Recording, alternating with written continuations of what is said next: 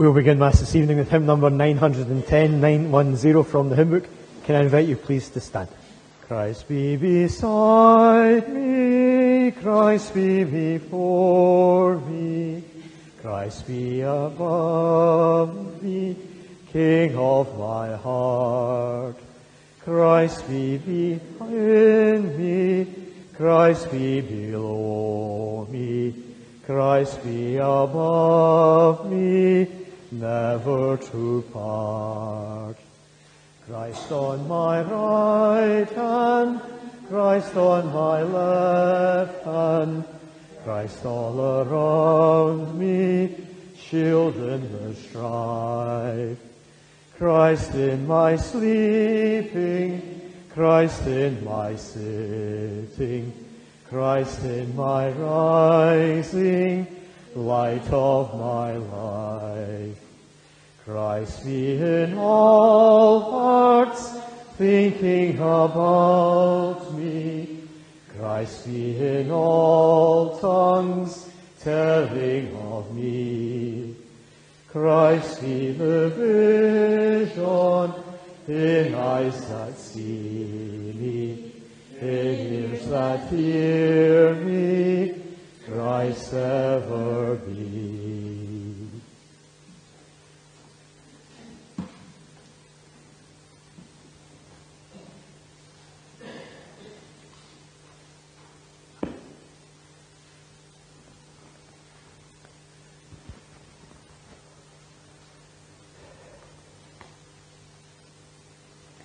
Good evening. Welcome to our celebration of Mass. It's the fifth Sunday of Lent. Welcome also if you join us online. In the name of the Father, and of the Son, and of the Holy Spirit. Amen. The grace of our Lord Jesus Christ, the love of God, the communion of the Holy Spirit be with you all. We are listening again this week, like last, to some serious theology from the Gospel of St. John, but always looking forward to the events that we'll celebrate over the next few weeks as we celebrate Holy Week and the Easter Triduum. Um, it's an invitation, I think, to reflect on the struggles that we have, but to recognise they were also part of the life of the Lord. And, and so we give thanks for solidarity and, of course, for the forgiveness that we can uh, depend on that arises out of that. So, with confidence, we gather, we acknowledge our sinfulness, we ask God's pardon.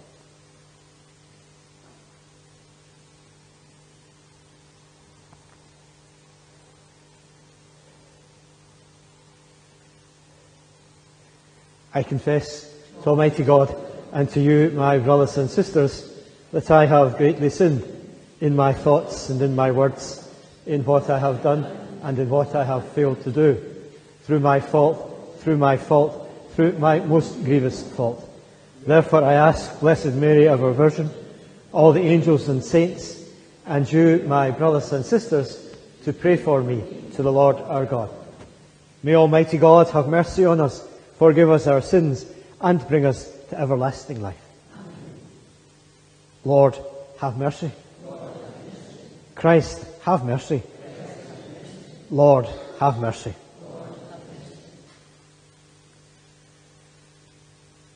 Let us pray.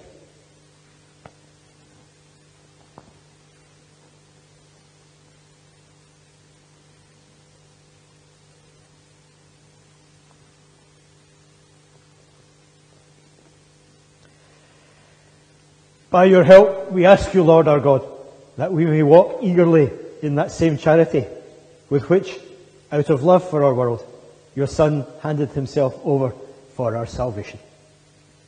We make our prayer through our Lord Jesus Christ, your Son, who lives and reigns with you in the unity of the Holy Spirit, God, forever and ever. Amen.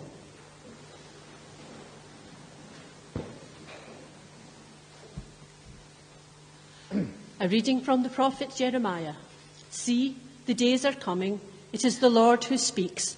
When I will make a new covenant with the house of Israel and the house of Judah, but not a covenant like the one I made with their ancestors on the day I took them by the hand to bring them out of the land of Egypt. They broke that covenant of mine, so I had to show them who was master. It is the Lord who speaks. No, This is the covenant I will make with the house of Israel when those days arrive. It is the Lord who speaks. Deep within them I will plant my law, writing it on their hearts. Then I will be their God, and they shall be my people. There will be no further need for neighbour to try to teach neighbour, or brother to say to brother, Learn to know the Lord. No, they will all know me, the least no less than the greatest. It is the Lord who speaks. Since I will forgive their iniquity and never call their sin to mind. The word of the Lord. Thanks be to God. The response to the psalm A pure heart create for me, O God. A pure heart create for me, O God. Have mercy on me, God, in your kindness. In your compassion, blot out my offence. O wash me more and more from my guilt, and cleanse me from my sin. A pure, pure heart heart create for me, O God. A pure heart create for me, O God. Put a steadfast spirit within me. Do not cast me away from your presence, nor deprive me of your Holy Spirit. A pure heart create for me, O God. Give me again the joy of your help.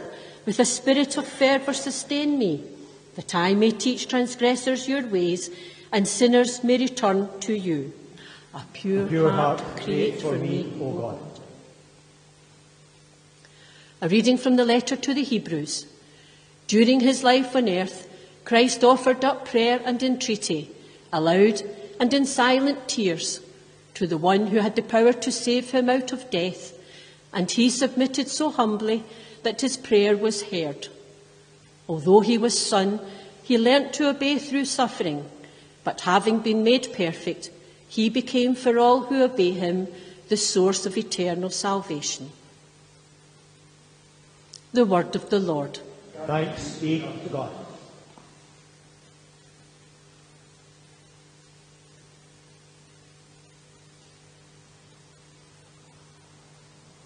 Please stand for the gospel. Praise to you, O Christ, King of eternal glory. Praise to you, O Christ, King of eternal glory. If a man serves me, says the Lord, he must follow me wherever I am. My servant will be there too. Praise to you, O Christ, King of eternal glory. Praise to you, O Christ, King of eternal glory. The Lord be with you. A reading from the Holy Gospel according to John. Glory to you, O Lord.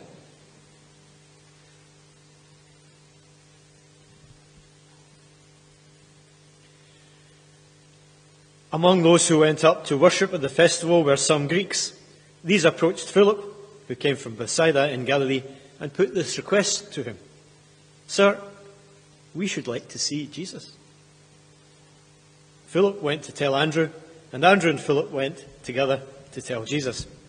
And Jesus replied to them, Now the hour has come for the Son of Man to be glorified. I tell you most solemnly, Unless a grain of wheat falls on the ground and dies, it remains only a single grain. But if it dies, it yields a rich harvest.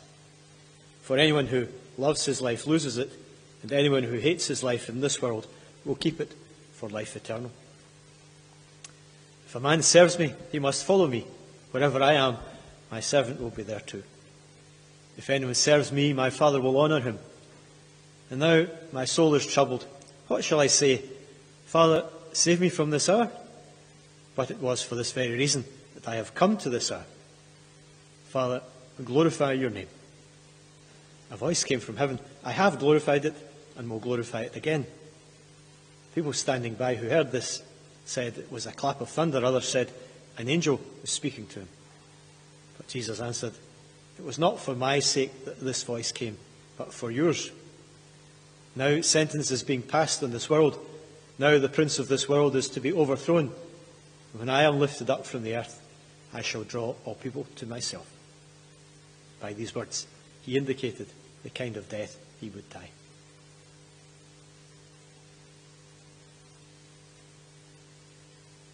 The Gospel of the Lord. Praise to you, Lord Jesus Christ.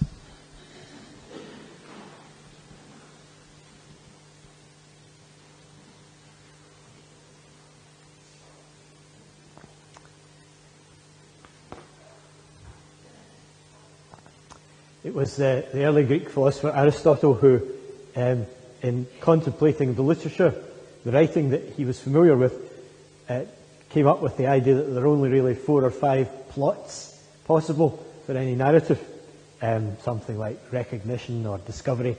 Um, um one of the one of the ones that's dominant is is quest, the, the search for something.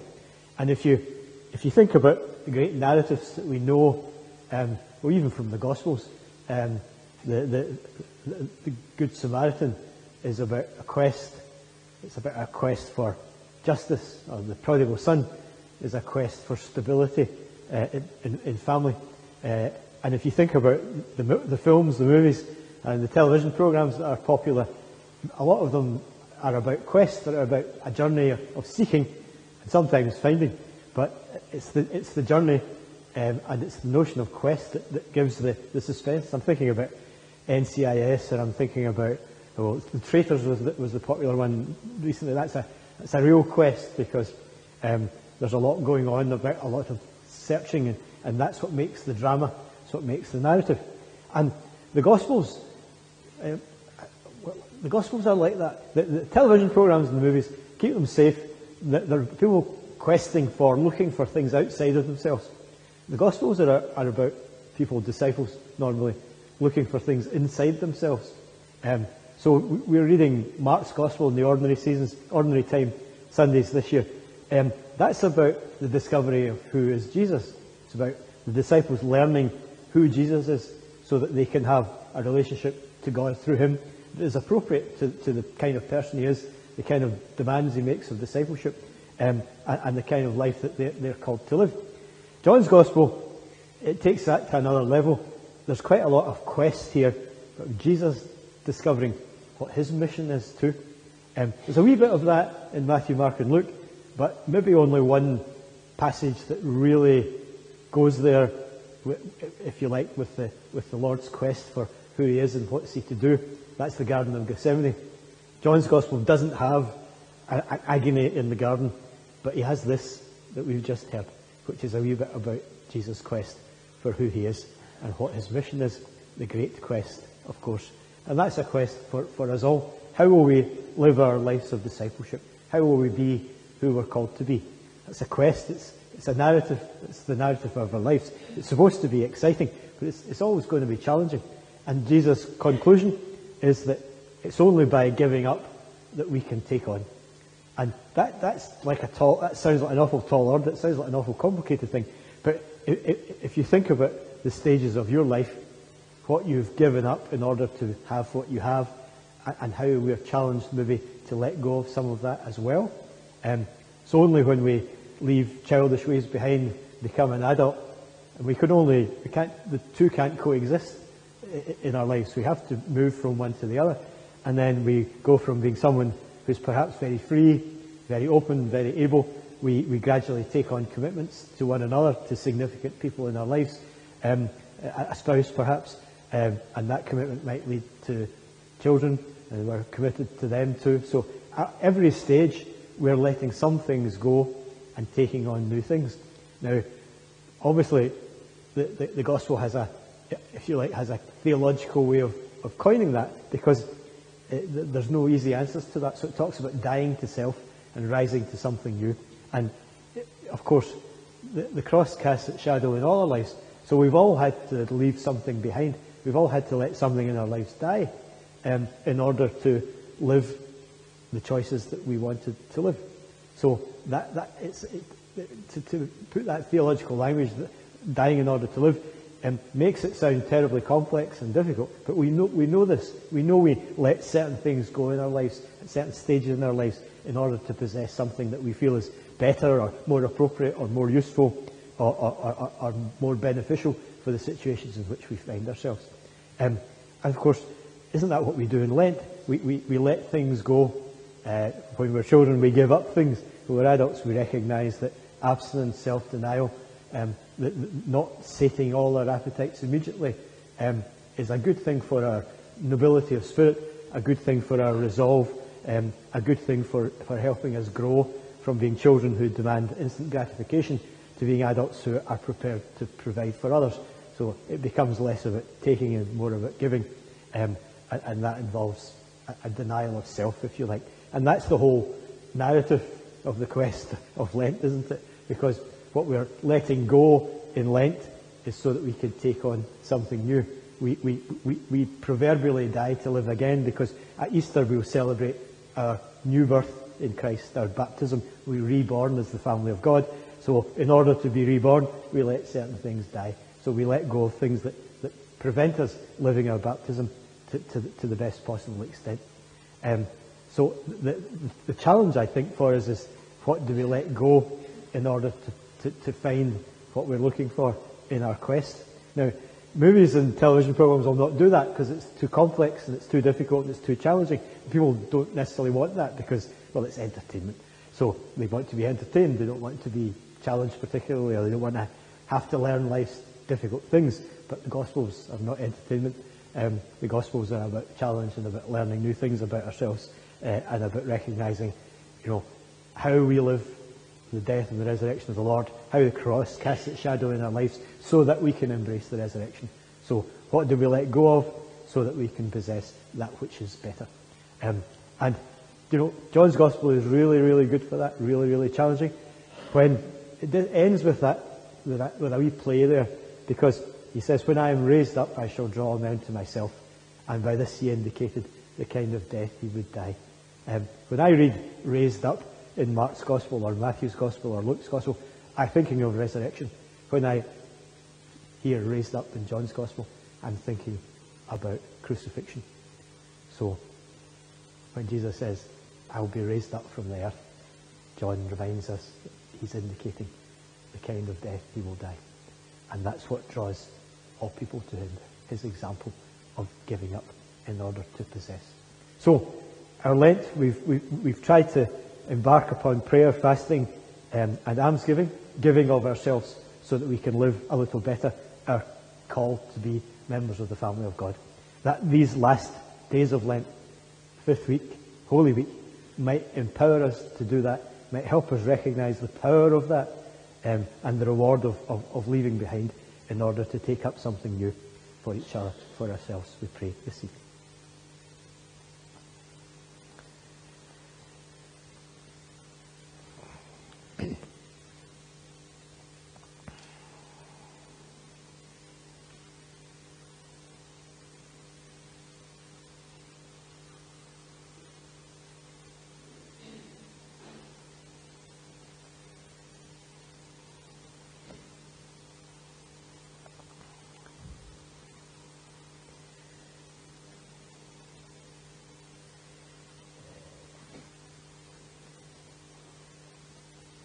To pray for our needs, we stand.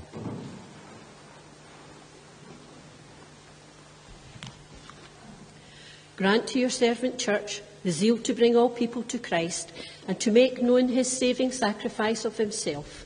Give her power to drive out evil and to find her life in his death and resurrection. Lord, hear us. Lord, graciously hear us. Bless all who work to spread the gospel and offer their lives in its service. Guide the seekers after truth and lead into the right way those who care only for the pleasures of this world and the satisfaction of their own lives. Lord, hear us. Lord, graciously hear us. Make us willing servants of the faith, helping those around us to find their way and be renewed in the power of Christ.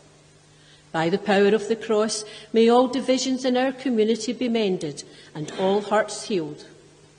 Lord, hear us. Lord, graciously hear us. Have mercy on all who suffer in body, mind, or spirit. May they hear the divine voice of power and comfort, be relieved from their affliction, and find new life after loss. Lord, hear us. Lord, graciously hear us. We pray for those who have died to this world. May they grow into the life of heaven, where joy is endless, and what has been offered on earth comes to perfect fruition. Lord, hear us. Lord, graciously hear us. To these, our general intercessions, we add prayer for our own particular and local needs. We remember those who've asked us to pray for them, especially those whom we know to be in particular need. Pray for those who join us online, particularly if they are unwell or are caring for others. Lord, will encourage them and bless and reward them for generosity of heart. Pray for ourselves and for each other that we may recognize the presence of the cross in the lives of us all, be supportive of one another in our times of challenge, and recognize that to possess something new, we need to allow something old to die in us, after the example of the Lord Jesus. And we pray finally for our dead. We remember those who have died recently, particularly Eileen Hick and Margaret Burns. And for those whose anniversaries occur about now, also we pray, remembering particularly those who've asked us to remember them in prayer.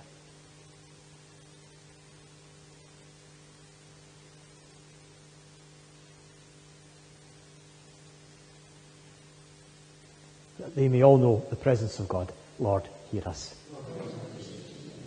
God our Father, you call us to your family. You sustain us as we respond to that call. Give us courage and strength, we pray, each day, through Christ our Lord. Amen.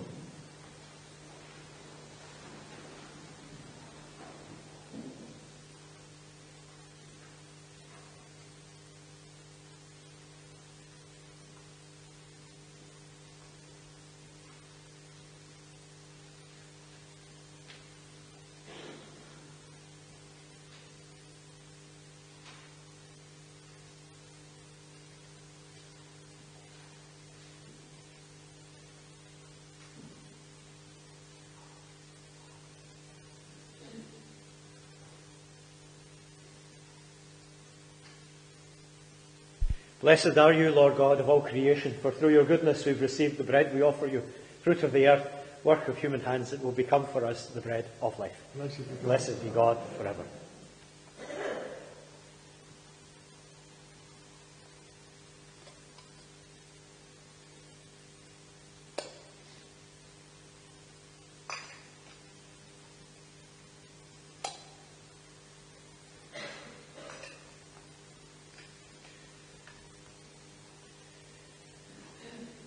Blessed are you, Lord God of all creation, for through your goodness we've received the wine we offer you, fruit of the vine, work of human hands, it will become our spiritual drink.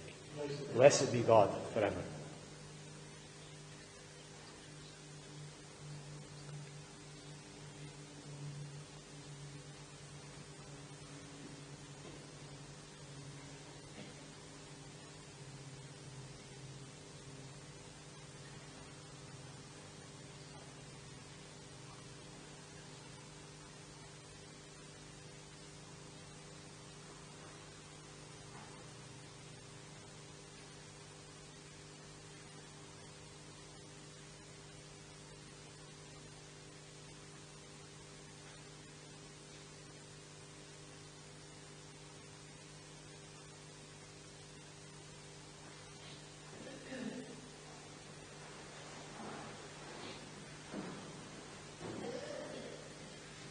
Let's pray, my brothers and sisters, that my sacrifice and yours may be acceptable to God, the Almighty Father.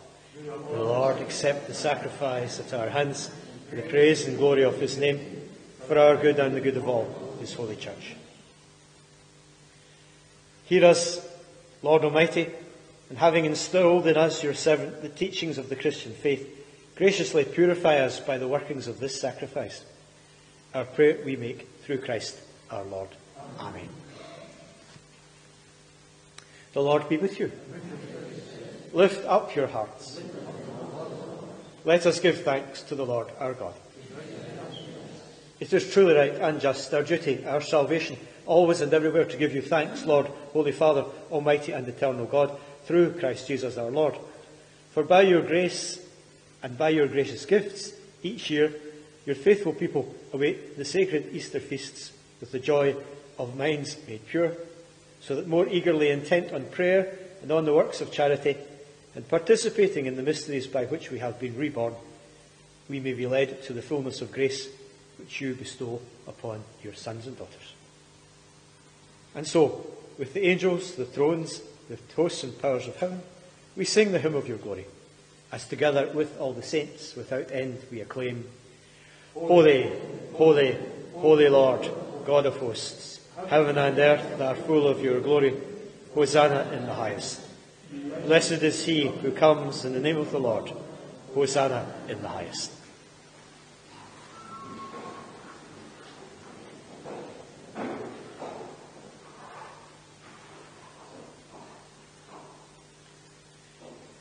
You are indeed holy, O Lord, the fount of all holiness. Make holy, therefore, these gifts, we pray, by sending down your Spirit upon them like the dewfall, so that they may become for us the body and blood of our Lord Jesus Christ. At the time he was betrayed and entered willingly into his passion, he took bread and giving thanks broke it and gave it to his disciples, saying, Take this, all of you, and eat of it, for this is my body, which will be given up for you.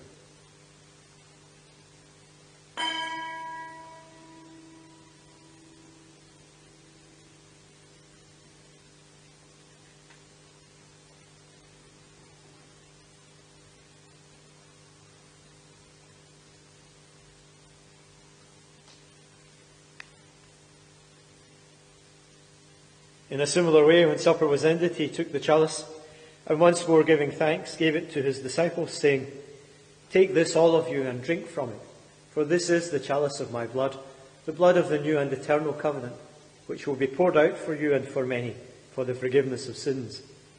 Do this in memory of me.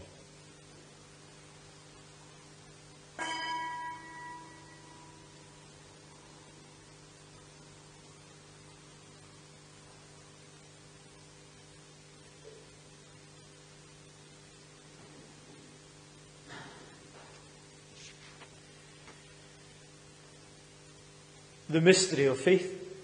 We proclaim your death, O Lord, and profess your resurrection until you come again. Therefore, as we celebrate the memorial of his death and resurrection, we offer you, Lord, the bread of life, the chalice of salvation, giving thanks that you've held us worthy to be in your presence and minister to you. Humbly we pray that partaking of the body and blood of Christ, we may be gathered into one by the Holy Spirit. Remember, Lord, your church spread throughout the world Bring her to the fullness of charity, together with Francis our Pope, John our Bishop, and all who minister in your church. Remember our brothers and sisters fallen asleep in the hope of the resurrection, and all who have died in your mercy. Welcome them to the light of your face. Have mercy on us all, we pray, with the Blessed Virgin Mary, the Mother of God, St. Joseph our spouse, the apostles, and all the saints who have pleased you throughout the ages. We may merit to be co-heirs to life eternal, and may praise and glorify you through your Son, Jesus Christ. Through him and with him and in him, O God Almighty Father, in the unity of the Holy Spirit, all glory and honour is yours, for ever and ever. Amen. Amen.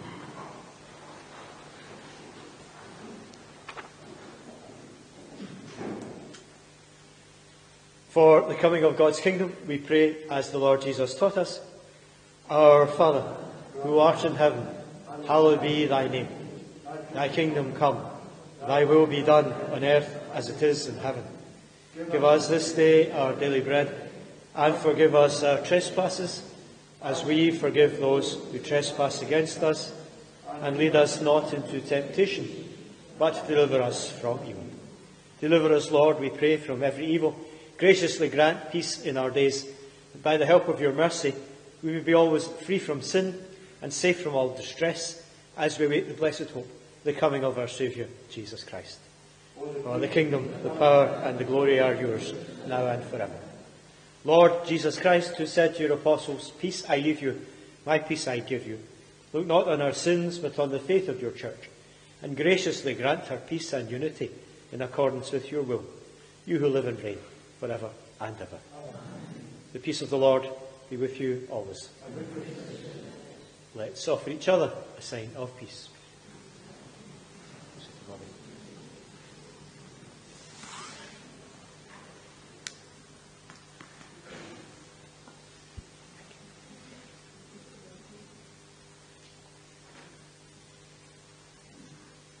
Lamb of God, you take away the sins of the world, have mercy on us. Lamb of God, you take away the sins of the world, have mercy on us. Lamb of God, you take away the sins of the world, grant us peace.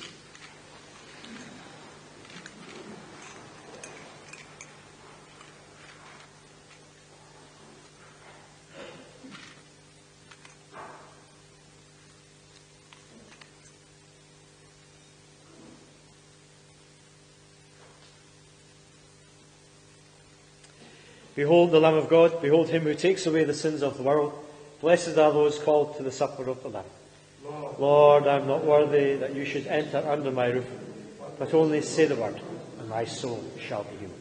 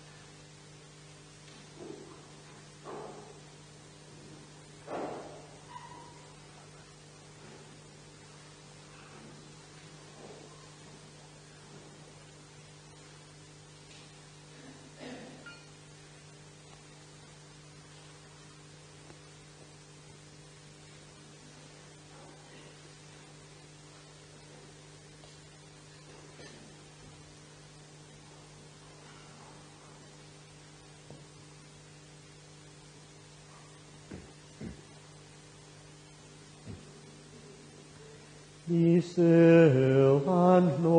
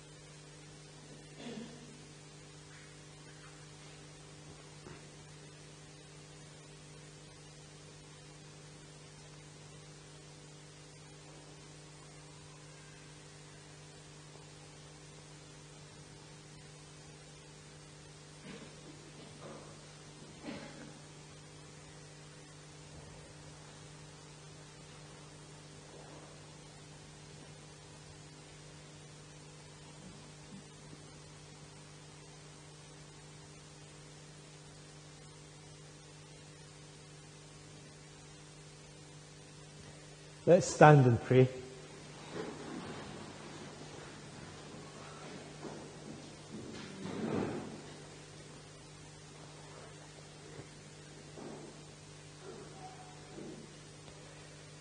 We pray, Almighty God, that we may always be counted among the members of the body in Christ, in whose body and blood we here have communion. He who lives and reigns forever and ever. Amen. Can I invite you to familiarise, yourself with the latest notices? They're all in the usual places. There's also a little flyer with uh, masses of times and services for Holy Week. Uh, and this coming week, as part of our preparation together uh, for Easter, there's confessions all day in St Mirin's Cathedral from half past eight in the morning till half past seven in the evening with a number of priests on at each uh, slot. So there should be uh, plenty of provision for the sacrament of reconciliation. Uh, also, we prayed for two members of our parish community who have died recently. Eileen Hick, her funeral will be in St Mirin's Cathedral on Wednesday, and Margaret Burns, her funeral here uh, on Friday, uh, both at 10 o'clock. Thank you for your presence. Thank you if you joined us online. I hope you have a, a nice evening uh, and a good, a nice weekend and a good week ahead. We ask God's blessing. The Lord be with you. May Almighty God bless you, the Father and the Son and the Holy Spirit. Go and announce the gospel of the Lord. Thanks be to God.